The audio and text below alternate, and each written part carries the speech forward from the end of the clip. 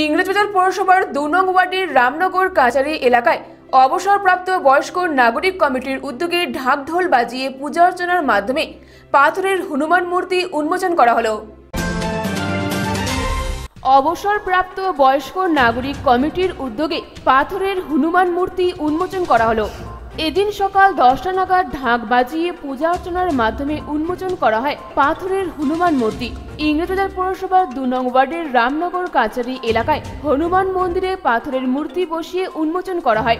অনুষ্ঠানে উপস্থিত ছিলেন সংগঠনের সভাপতি জহর দাস, সম্পাদক মলয় পাল সহ অন্যান্য সদস্যরা। এই অনুষ্ঠানে দূর দূরান্ত থেকে আসা ভক্তরাও ভিড় জমিয়েছিলেন এদিন। পুজোর আগে ঘি, মধু, গঙ্গা জল দিয়ে স্নান করানো হয় পাথরের হনুমান মূর্তিটিকে।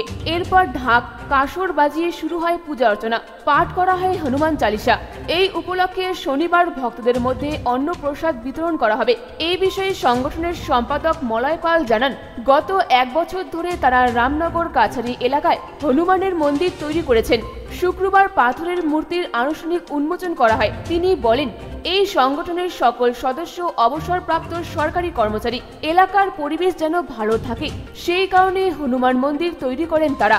অবসরপ্রাপ্তরা মন্দির প্রাঙ্গণে এসে মন খুলে কথা বলতে পারবেন এবং তার পাশাপাশি হনুমানের পূজা অর্চনা করতে পারবেন।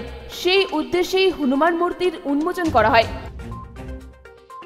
আমরা পরে এখানে বসে এখানে ঠাকুরের একটা মূর্তি উন্মোচন করছি বজ্রকালী মূর্তি স্থাপন করছি।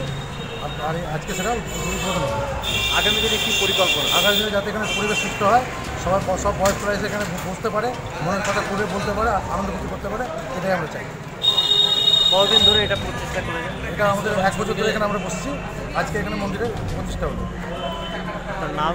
আমার নাম মলয় পাল। কিসের কিসের প্রতিমাটা? বজ্রকালী মূর্তি। মানে কি পাথরের তৈরি? পাথরের বজ্রকালী মূর্তি। উত্তরবঙ্গ নিউজ ব্যুরো অখিল সরকারের রিপোর্ট।